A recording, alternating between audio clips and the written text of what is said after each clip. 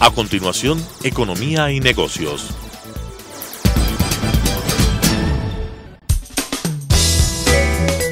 Clasificación B, bajo supervisión de un adulto.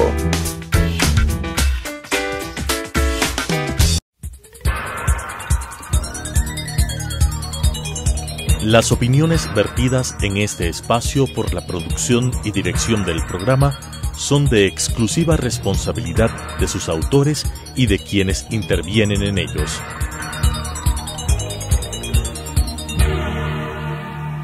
Telesucesos Canal 29 UHF presenta Economía y Negocios, un espacio para presentar a los principales actores locales del emprendimiento y del mundo empresarial, con la conducción de José Luis Iturralde, Economía y Negocios. ¿Qué tal amigos? Muy buenas noches, bienvenidos a otro programa más Economía y Negocios desde Telesucesos. Eh, hace unos 5 o 6 meses tuve el placer de entrevistar a Guillermo Verduga, un joven técnico en marketing que ha trabajado en varias empresas importantes y multinacionales, ya que venían con un propósito, estaba, el mercado se abrió, a, el mercado automotriz se abrió a la llegada de, las la industria china, de los vehículos chinos de buen nivel, porque usted sabe que la industria china tiene de todo. Y había uno como estigma de que los chinos no necesariamente eran productos de calidad. La historia y, bueno, y los hechos le dan la razón a la industria china, ya que es de donde provienen la mayoría de las fabricación de los productos, los iPhones, los teléfonos, las laptops, vehículos, inclusive de las grandes marcas son ensamblados en China. Eh, en el Ecuador actualmente, y hemos entrevistado a algunos personajes, hay una gran gama de vehículos y de opciones de vehículos de muy buena calidad y a muy buen precio. Entre ellos es la empresa Bike. Eh, Guillermo, estuvimos aquí, se, me parece que fueron unos seis meses, no sé. Correcto. Eh, cuéntanos un poquito. Bueno, hace seis meses hablábamos que Automotores y Anexos, una importante, sino de las más importantes empresas eh, de importación de vehículos, las más reconocidas, con una trayectoria muy grande, tomaba la determinación de irse por un vehículo diferente, porque ustedes tenían, tienen, la, tienen Renault y tienen Nissan, ¿no? Sí, correcto. Eh, y claro, hablamos mucho, pero no sabíamos cuál hubiera sido el desenlace. Ahora ustedes ya tienen, me parece que dos concesionarios importantes, Quito y Guayaquil, ¿no? Sí, bueno, bueno, buenas noches, José Luis. Buenas noches, televidentes. Sí, te cuento un poquito más de la marca. Ahora ya tenemos cuatro, cuatro puntos a nivel nacional. Ya. Sí, y bueno, uno temporal en, en el recreo, con esto del autorrecreo. El nos, Ha autorrecreo. ido, nos ha ido bien. Hemos construido marca, digamos, en la medida de, de los recursos también. Pero, pero vamos bastante bien. Eh, las últimas ventas que registramos el mes pasado fueron de 53 unidades. En Eso- el mes. En el Estamos mes. hablando de Quito, Guayaquil Quito, Guayaquil y Manta. y Manta. Por el momento. Ajá. Próximamente aperturemos nuevas plazas, eh, plazas tan importantes como por ejemplo Ambato, Ambato. como por ejemplo Machala, Riobamba, Riobamba, Cuenca. y hay muchos otros puntos. Entonces, próximamente estaremos en estas plazas, pero ahora que queríamos entenderle bien a la marca, queríamos ver la primera respuesta del público, ha sido bastante favorable. Eh, prueba de esto es que estamos lanzando hoy un nuevo modelo, el X55, que es un crossover muy equipado. Tuvimos muy buena respuesta, incluso el mes pasado cerramos 17 ventas de este modelo. Sí, y la idea es traer más modelos que sean competitivos, que se, que se acoplen mucho a la, a la dinámica del mercado y a lo que está pidiendo el consumidor, ¿no? Son sobre todo estos vehículos de su vez pequeños o los crossover, o sea, que entren en un, en un rango de precios razonable y que sobre todo tengan una marca de respaldo, como en este caso es Automotores de Anexos. Claro que sí. ¿Cómo, ¿Cómo ves la reacción de la gente en cuanto al Made in China? ¿Ya tienen un criterio más, más eh, formado sobre este tipo de productos de alta gama que tiene la China? Sabes que el Made in China eh, ya va tomando una- un contexto diferente, ¿sí? Eh, Chi- China se ha enfocado mucho en fortalecer esta imagen, en cambiar este estigma. Y hay empresas que lo están haciendo muy bien a nivel mundial. Eh, incluso muchas, eh, la potencia china, digamos, está metiéndose ahorita en muchas, muchas corporaciones eh, de hace muchos años, por ejemplo, eh, están realizando compras en acciones de Mercedes-Benz, en Volvo, en BMW. Entonces, están integrándose a, a estas marcas Y tradicionales. trayendo un poco su Y, tecnología a- de y la China. adaptando, exacto, y adaptando su tecnología. Y esto no es algo que lo han estado haciendo desde ayer, sino desde hace varios años. Y se ha, habido, se ha visto eh, reflejado en los productos que tenemos ahora en el mercado de primera calidad. Claro que sí. Que cumplen todos los estándares y obviamente que pues, llegan a ser a precios mucho más convenientes para, para el consumidor. El área tuya dentro de la empresa entiendo que es el manejo de lo que es el marketing, la exposición de la marca.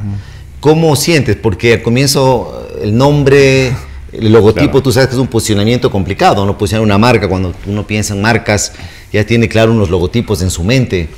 Eh, en el corto tiempo veo que ustedes tienen para vender 50 unidades al mes. Hablamos de 6, 7 meses de lo que se lanzó el primer uh, concesionario en Quito, es bastante bueno. ¿Cuál ha sido tu estrategia como, como, como cabeza del área de marketing de Bike? Sabes que un poco la estrategia que tuvimos, eh, no solo desde marketing, sino digamos desde, desde la directriz de arriba, es eh, fortalecer todo el trabajo que se ha venido construyendo con automotores de anexos y además darles a conocer a la gente todas las ventajas y beneficios que están trayendo estos nuevos productos chinos. Eh, no te voy a mentir, al principio sentía un reto, bueno, y todavía lo siento como un reto fuerte eh, frente a marcas tradicionales con un montón de presupuesto, con igual profesionales muy bien preparados. Sí, pero hay que, hay que, hay que salir y eh, hay, que ser creativos. Por ejemplo, la, la estrategia esta publicitaria que hicimos con el Tigre eh, nos apalancó muchísimo, nos generó un diferencial de, de, toda la categoría y empezó a llamar muchísimo la atención de los clientes. Entonces todo el mundo sí quería incluso hasta comprarnos el Tigre. Y, y pues, decimos que no estaba a la venta, pero sino que íbamos a, a tener Algo importante fue que vi que, bueno, y lo pude ver en la revista Drivers, que, tu estrategia publicitaria fue mezclarte también con las marcas europeas tradicionales, Volvo, Mercedes-Benz, Audi. Entonces, de cierta manera, le posicionas alto y el momento que la gente acude a concesionarios se topa con un, precio maravilloso, manejable y con una garantía, si no recuerdo, eran, eran cinco años. Cinco años, 12 mil kilómetros. Cinco años y mil kilómetros. O sea, yo creo que bueno, ya con eso ya cualquiera puede comprarse un auto tranquilo y más vamos sabiendo que tiene la garantía de un concesionario, bueno, que es una tradición en, el Ecuador y Quito, ¿no? Correcto. o sea, en sí, en sí Bike es una marca muy bien eh, posicionada, digamos, en China y a nivel mundial ya están presentes en más de 44 países. ¿En América Latina tiene presencia Bike? Tiene presencia Bike en países como Argentina, como Chile, como México inclusive, y, y, está próximo a abrir, aperturar una fábrica en Chile, en en México. Ya. Entonces, esto le va a dar muchísima más apertura al mercado latinoamericano, sobre todo por un tema de repuestos, por un tema de disponibilidad de ciertos. Eso sería, en caso de que el Ecuador llegase a ser parte de la de la firma del, del Acuerdo del Pacífico, eh, supongo que entonces nos se beneficiará con, con, aranceles más bajos. Correcto. Y estos vehículos que ya tienen un precio bueno serán pero serán mucho más competitivos y, y sobre todo tendrán el, la misma especificación con la que viene. ¿Cómo, ¿Cómo, es la diferencia de precios de bike en Ecuador, por ejemplo, con, con, con, Chile, que tiene un arancel cero a los vehículos? Te voy a hablar de México más bien. ¿Ya? Por ejemplo, el mismo BJ40, que es nuestro vehículo insignia, para nosotros estamos vendiendo cerca de 50 mil dólares de este vehículo, pero para México está en 32 mil dólares. Entonces imagínate la diferencia de precios del mismo carro y por eso este carro se ha vendido tan bien en México. México increíble, tan, tanta increíble, 32 mil. Eso es importante aclarar porque hay muchas veces que una conoces, conversas y dices, bueno, los amigos, eh, me fui a comprar tal vehículo, qué careros, esto es un robo. Es, es importante recalcar que esta, hay una gran, un gran pedazo que son impuestos. Todavía no, el Ecuador sigue siendo un país muy caro en el tema de vehículos Correcto. porque se va a impuestos, no es el concesionario que se lleva esa, esa gran parte. Uh -huh. Lo que sí esperamos, que este gobierno o el que venga tome acciones porque ya es hora que se bajen estos impuestos a los vehículos. O sea, es algo, es realmente un lujo tener en este país un vehículo. Y es por eso entiendo que a ustedes les va tan bien porque ofrecen calidad a, buen precio, ¿no? Correcto, a precios competitivos. Entonces, del, de la franja de precios que el consumidor está acostumbrado a pagar por un vehículo, nosotros estamos tratando de, de, de ser una, una, opción conveniente sobre todo, ¿sí?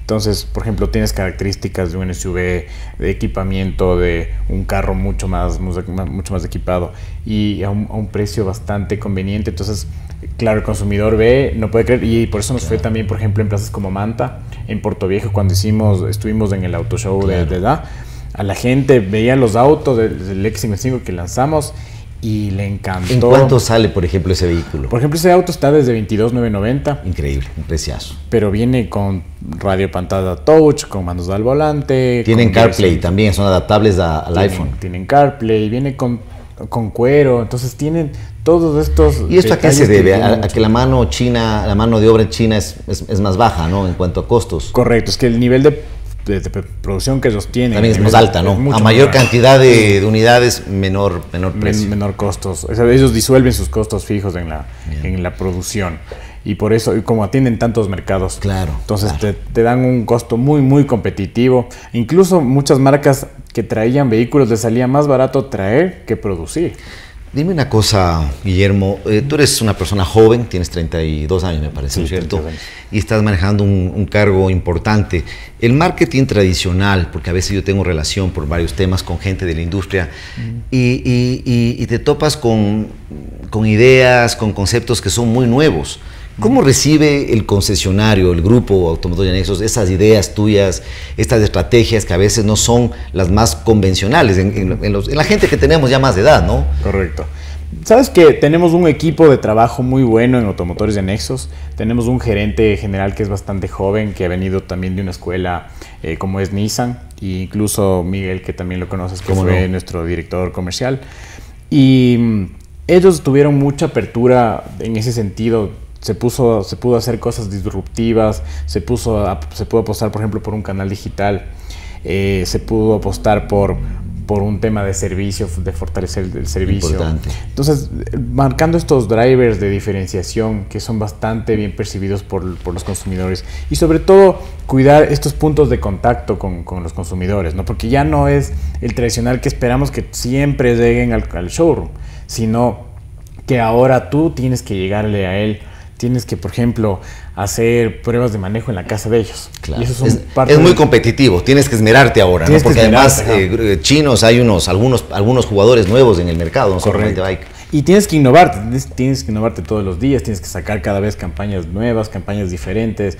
En redes sociales a veces cosas funcionan, cosas no funcionan, pero lo bueno es que puedes medirlo. Es un poco la diferencia del canal tradicional. El canal tradicional funciona también para hacer bulla, pero tienes que encontrar ese mix y sobre todo cuando tienes un presupuesto tan, tan restringido, entonces tienes que, ver bien dónde, dónde mueves tus fichas. Tú vienes eh, de, una, de una marca grande, trabajaste para aquí algún tiempo importante, eh, claro, Kia es uno de los jugadores más importantes, si no es del segundo o tercero me parece a nivel nacional, ¿no es cierto? Correcto donde vendían, bueno, la cantidad de vehículos que vende aquí, no sé cuánto asciende por mes, dame una idea, serán unos 400, 300, 400 vehículos. Ahorita están vendiendo eh, cerca de 1.700 carros es mensuales. Es una locura.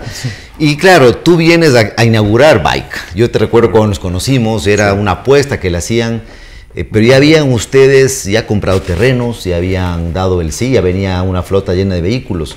Eh, un poco riesgoso. ¿Qué estaba en tu mente en esa época, cuando todavía el Ecuador vivía momentos de la recesión, de la transición, mejor dicho, del gobierno anterior a este? Sabes que, es, bueno, primero bajarte de una marca tan grande eh, es, difícil, es, es retador, pero también es chévere cuando buscas crecer, cuando buscas avanzar en tu profesión. Y sobre todo Automotores y Anexos me abrió las puertas y me mostró una nueva idea, eh, un bebé que querían tener.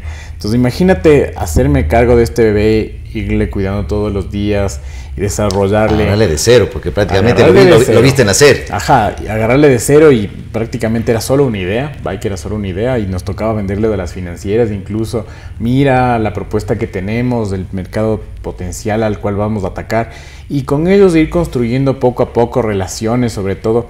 Sabes que eh, se, ha dado bastante bien este tema de las relaciones tanto con financieras como con otras entidades y creo que es muy importante, es muy importante cuidar tus stakeholders.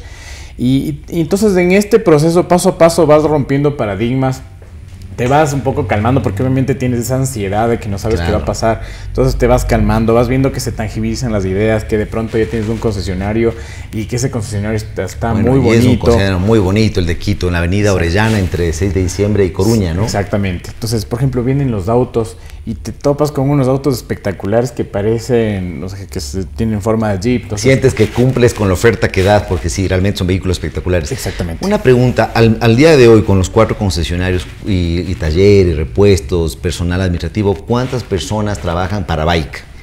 Estamos hablando de que cerca de entre 30 y 35 personas forman parte de la nómina Estamos hablando de un primer, ni siquiera un primer año. Ni siquiera un primer, año. Eso es justamente lo que yo quería topar. Eh, el país, que ahora se habla de la reforma tributaria que va a la Asamblea, donde se habla de algunos impuestos, algunos cambios tributarios. Y también veía encuestas. Lo que la gente más le preocupa en el país de este momento son dos cosas. Primero, el desempleo y segundo, la corrupción, que ha sido tan fuerte y tan sonada con los actos que se han podido descubrir, para mí es un poquito así, para lo que realmente es la punta del iceberg de la corrupción, lo que se ha visto, para lo que realmente hubo.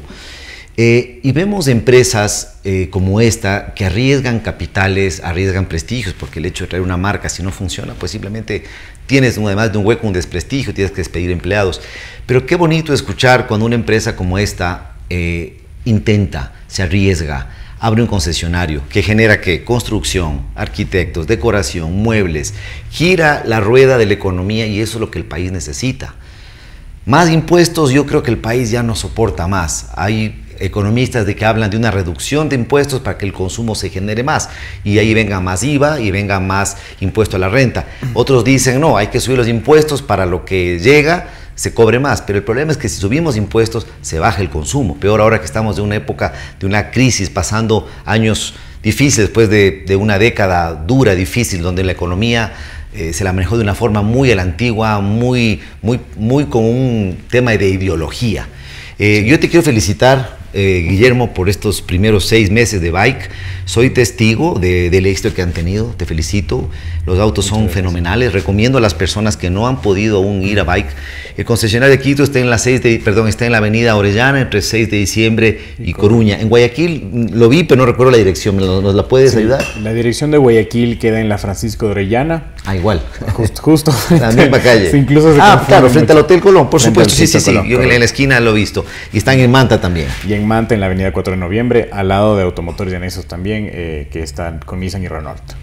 Muchísimas gracias, eh, Guillermo. Muchas gracias, amigos, por, este, por su audiencia. Nos vemos la próxima semana topando siempre estos temas importantes, dando un aplauso, dando deferencia a los empresarios o emprendedores. empresario puede ser una persona que tiene un empleado, es un empresario. Más aún cuando escuchamos que estas empresas se arriesgan en este tiempo donde algunas personas se ahuyentan, otros se arriesgan. Ese es el éxito. Muchas gracias y buenas noches. Las opiniones vertidas en este espacio por la producción y dirección del programa son de exclusiva responsabilidad de sus autores y de quienes intervienen en ellos.